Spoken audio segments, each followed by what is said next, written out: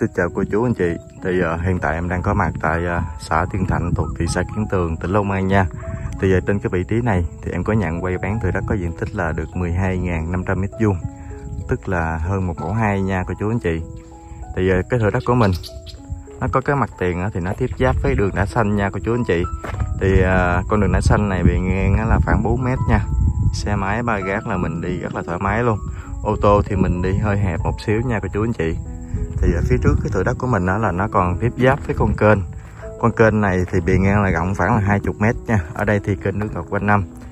Thì ờ, uh, sò lan ra lúa là khoảng là một hai trăm tấn là lưu thông. Rất là rộng rãi luôn cô chú anh chị. Thì uh, cái đường kênh này mình đi thẳng luôn đó là mình ra ra ngoài con kênh 79 nha.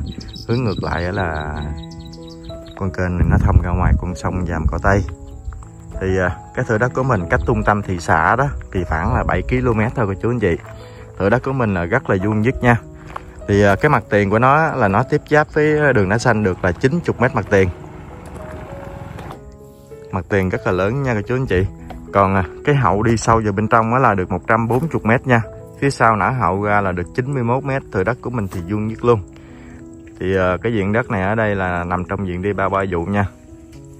Ở đây thì lúa rất là tốt luôn cô chú anh chị. Lúa này thì chuẩn bị cắt rồi nha khu này thì à, cô chú anh chị mình có thể mình lên vườn. Trồng cây ăn trái thì à, cực kỳ tốt luôn. Thì à, từ vị trí thứ đất mình đi ra tới ngoài con đường lộ lớn ngoài kia thì chỉ khoảng là 500 mét thôi, cô chú anh chị. Rất là gần. Thì cặp với cái thửa đất của mình là nó có thêm một cái đường đường nước nữa, cô chú anh chị. Ở đây họ đặt thông trực tiếp ra ngoài con kênh lớn để bơm nước lên làm mùa ganh bờ của mình thì à, tới vị trí bờ này nha cô chú anh chị.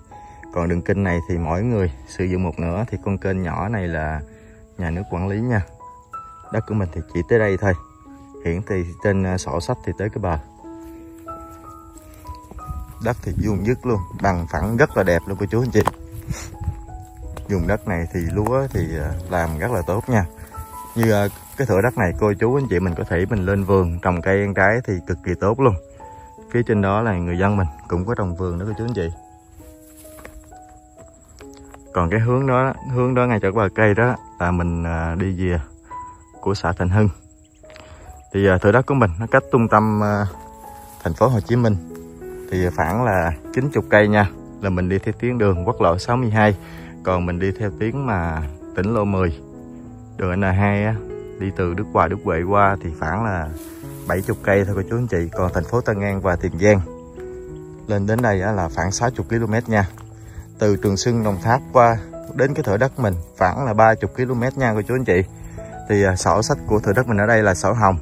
Có hiển thị à, đường có bản vẽ đầy đủ luôn pháp lý thì sẵn sàng công chứng trong ngày nha cô chú anh chị.